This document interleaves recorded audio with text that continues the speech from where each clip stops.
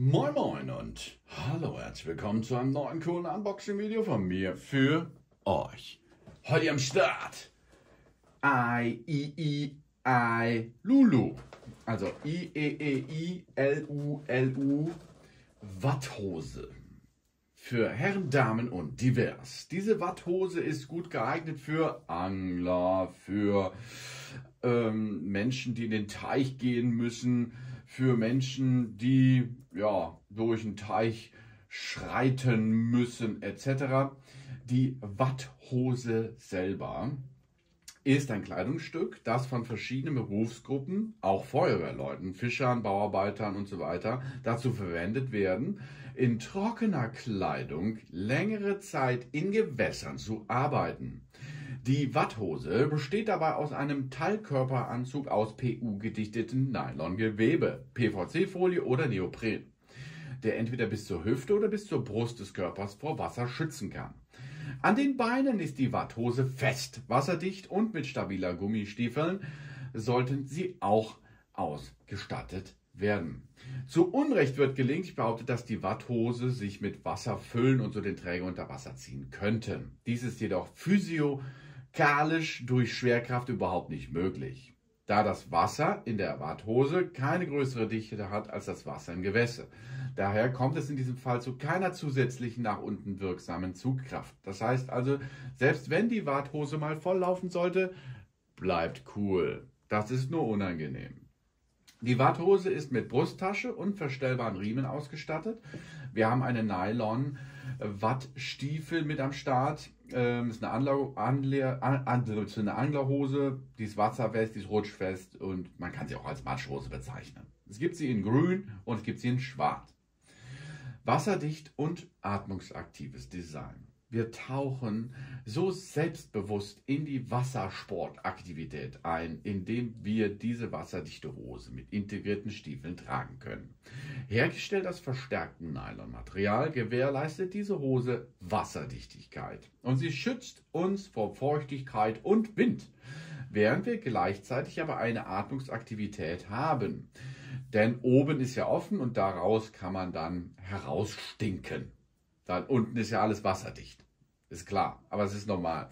Das heißt also, wenn ihr stundenlang in dem Ding arbeiten werdet, wollt, sollt, dann wird es schon ein bisschen, ein bisschen wärmer da um die Beine herum. Das ist ganz normal. Aber das Wichtigste ist ja, dass wir nicht dann stundenlang im Wasser stehen, vor allen Dingen bei kälteren Temperaturen. Denn mit diesem Ding kann man sozusagen einen Trockenanzug ersetzen. Der Trockenanzug ist zum Beispiel im Neoprenbereich sehr gerne gesehen. Das heißt also, ähm, die, die, die Möglichkeit dort der Belüftung der Haut ist gewährleistet. Es ist also nicht direkt Wasserkontakt zur Haut. Dem ist bei so einer Warthose genauso ge, ähm, gesetzt. Nur, dass wir natürlich jetzt nicht mit dem Oberkörper untertauchen sollten, weil ansonsten läuft natürlich das Wasser da rein. Ich bin zum Beispiel mit einer Watthose schon mal, ja, da war es recht kühl, hm, bin ich in den Teich gegangen, wir hatten auch eine Eisschicht darauf, ich bin also durch die Eisschicht dann gebrochen, aber das war ja nicht schlimm, ich wollte ja ins Wasser. Und dann bin ich ausgerutscht. Und dann ist natürlich das Wasser schön relativ schnell in die Watthose reingelaufen und es war echt unangenehm. Nur, wenn ich mir jetzt überlege, ich wäre nackelig bei den 5, 6 Grad, die wir draußen hatten, Außentemperatur schon in das 2 Grad warme Wasser gestiegen, ohne Warthose, dann wäre das viel schlimmer gewesen. Also so eine Warthose hat schon, äh, hat schon wirklich positive Aspekte, um dort länger trocken zu bleiben und vor allem komfortabel. Wir haben nämlich einstellbare Schrumpfbänder, verstellbare Gummizug am Bund, wasserdichte Reißverschlusstaschen, hochwärmegeschweißte Naht, verstellbare Riemen, Innere Tasche haben wir am Start, wasserdichtes Nylongewebe und wir haben eine verdickte Gummisohle. Das robuste Nylon-Gummimaterial ist konstruktiv vernünftig gebaut, um den Tragekomfort im Wasser zu erhöhen. Wir haben viele verstellbaren elastischen Träger, um es unseren Bedürfnissen anzupassen. Es ist eine Vielzahl Outdoor-Nutzung möglich bei diesem Gerätele hier. Perfekt für wasserbezogene Aktivitäten wie Angeln im Freien, Teichreinigung, wasserdichtes Design, erhöhte Haltbarkeit macht die Hose zu verschiedenen Umgebungen geeignet und bietet Schutz und Komfort während unserer Abenteuer. Sie kommt in einer ganz normalen recycelten Verpackung zu uns. Das ist schon mal positive. sie ist jetzt nicht ultimativ schwer, ne, also wirklich, das ist jetzt nicht äh, äh, ein riesen schweres Klopperding. Ich finde sie sogar sehr leicht im Bezug auf meine andere Watthose, die ich schon habe. Draußen sehen wir auch hier ein Muster von einem Stoff schon. Das heißt also, hier ist die schwarze am Start und ihr seht auch, was das hier für ein Stoff ist. Ne? Wir haben also hier ein PU-Material, welches dort uns dann ja, nylonmäßig gut am Start halten sollte. Sehr gut, das ist ein sehr dünnes Material. Ähm, das heißt also, Gewicht haben wir hier weniger. Jetzt haben wir hier noch so einen schönen Bügel, ne, den kann man zum Einkaufen noch benutzen. Und schon haben wir die Hose herausgelöst aus dem System. Also die Hose selber hat echt eine, ähm, eine, eine, eine gute Haptik. Also sie fühlt sich wertig an. Wir sehen, dass sie schön zusammengerollt ist. Und wenn wir sie aufklappen, sehen wir hier sind die Stiefeletten am Start. Ne, wir haben also ein, ähm, ein Gummistiefeldesign hier, welches aus einem Guss gegossen worden ist. Das heißt also, die Sohle wurde gegossen.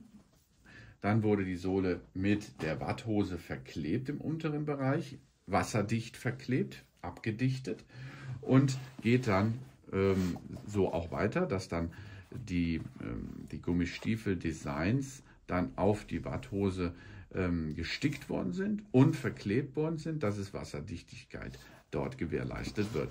Auch die besagten Stuhe hier sind mit R und L getitelt. Das heißt, wir haben eine rechte Seite, eine linke Seite und da können wir reinrutschen. Schuhgröße 46 ist hier am Start. Ne, das ist wichtig, dass ihr die richtige Schuhgröße angebt, vor oder während des Kaufes. Und dann könnt ihr loslegen. So, dann geht es nämlich weiter hoch. Das Material fühlt sich wirklich äh, sehr wertig an.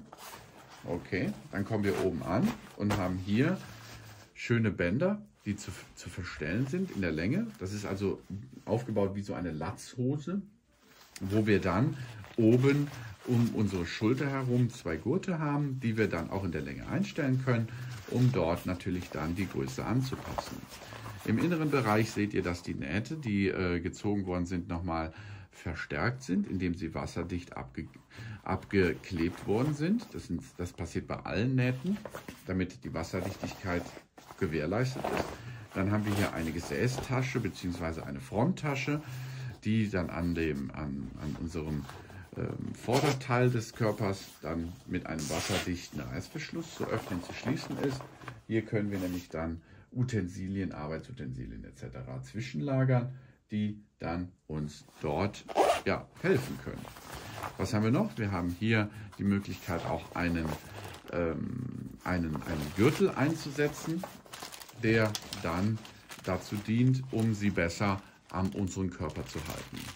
Dann haben wir hier, was das, noch, noch ein weiteres ähm, Bändele. Dieses Bändele können wir verwenden, um ähm, äh, um Reserve zu leisten, würde ich fast behaupten, beziehungsweise es ist dehnbares Bändele. Da können wir dieses Bändele, jetzt habe ich es verstanden, dieses Bändele können wir als äh, den ähm, als den Gürtel benutzen. Stimmt, das ist der Gürtel, den wir dann durch die Gürtellaschen ziehen können, der dann auch hier mit einem Verschluss versehen ist. Sehr schön, ganz vernünftig am Start, ähm, um dort Aktivitäten im Wasser, welches ähm, so tief ist wie, sage ich jetzt mal, eure, eure Brust, äh, eurem, nee, am Zwerchfell. Ich würde sagen, die, die, die Höhe am Zwerchfell könnt ihr, bis zum Zwerchfell könnt ihr mit der Hose ins Wasser gehen, von eurem Körper aus und werdet nicht nass. Außer es ist natürlich jetzt gerade am Regnen, dann kommt natürlich vom Wasser von oben runter, beziehungsweise wenn ganz krasser Wellengang ist, kommt das natürlich auch durch die Gicht, durch die durch die aufschäumende See eventuell bei euch dann hinein. Aber die Watthose ist sehr sinnvoll, nicht nur wenn ihr Fischer seid, sondern auch wenn ihr Angler seid oder wenn ihr einen Teich in eurem Garten habt. Damit kann man nämlich sehr gut dann in den Teich steigen, um diesen zu reinigen und ähm, wieder abzulassen, zu belassen, zu warten, zu, etc. Oder wenn ihr zum Beispiel eine Kanalisation müsst, ne, so die großen Kanalisationen, könnt ihr dort dann auch durch das Abwasser mit euch bewegen, ohne dass ihr unbedingt direkt alles voll habt an den Beinen. Das ist die IEEI Lulu Watthose für Herren, Damen und divers. Ich sage vielen Dank fürs Zuschauen. Bitte abonniert mich, gebt mir positives Feedback und bis zum nächsten Mal. Servus.